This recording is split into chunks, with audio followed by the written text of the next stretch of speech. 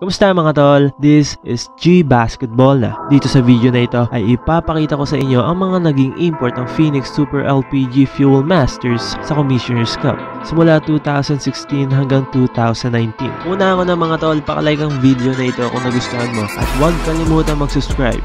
This is G Basketball na. Ah, thank you for watching.